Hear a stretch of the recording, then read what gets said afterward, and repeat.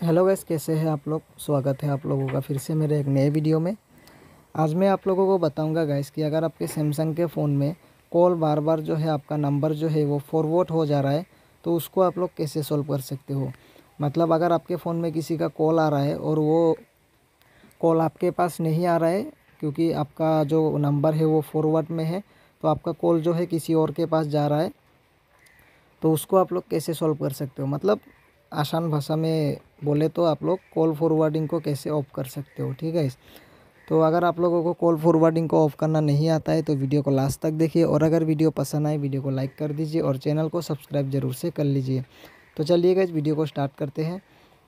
तो call forward को of करने के लिए गए यहाँ पर सबसे पहले जो है आप लोगों को यहाँ पर फ़ोन पे क्लिक कर देना है।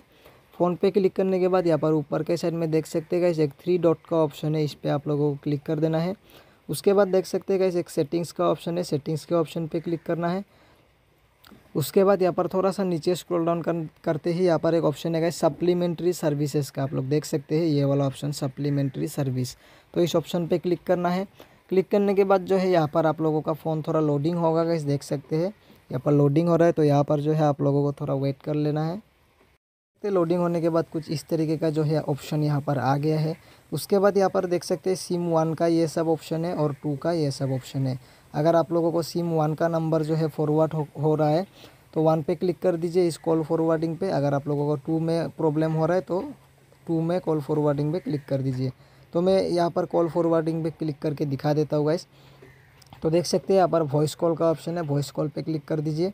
और यहाँ पर भी थोड़ा आप लोगों का लोडिंग होगा इस तो यहाँ पर थोड़ा आप लोगों को वेट कर लेना है। वेट करने के बाद जो है यहाँ पर लोडिंग कंप्लीट हो जाएगा गाइस आप लोग देख देख सकते हैं। यहाँ पर कुछ ऑप्शन यहाँ पर शो हो गए हैं, लेकिन यहाँ पर जो है ऊपर में लोडिंग आ रहा है तो यहाँ पर आप लोग यहाँ पर क्लिक नहीं कर सकते अभी। थोड़ा वेट करना होगा गाइस यहाँ पर। तो देख सकते हैं, अभी कुछ इस तरीके का ऑप्शन आया है।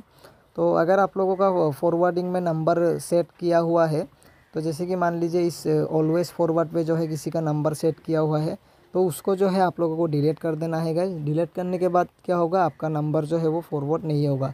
तो यहाँ पर से आप लोगों को चेक कर लेना है गाइज़ कि आपका अगर यहाँ पर अपने आप किसी ने जो है आप लोगों का यहाँ पर नंबर सेट करके रखा है तो उसको आप लोगों को सिंपली डिलीट कर देना है। डिलीट करने के बाद जो है आप लोगों का प्रॉब्लम सॉल्व हो जाएगा।